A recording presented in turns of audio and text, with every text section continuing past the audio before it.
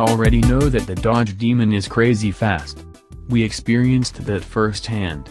But its more than ample amounts of built-in speed doesn't mean that owners won't be tinkering with it to make it faster. But if you don't want to add more power, or even if you do, you can always make the car lighter. That's what SpeedKore Performance Group has done.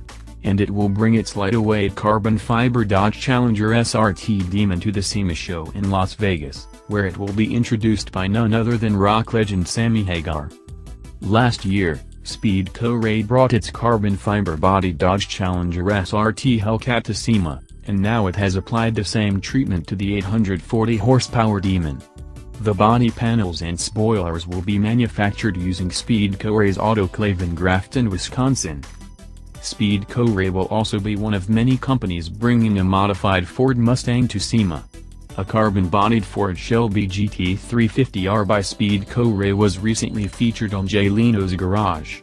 Last year, Leno also drove SpeedKore's 1970 Dodge Charger Tantrum, which features a carbon fiber front end and a 1,650 horsepower Mercury Marine engine.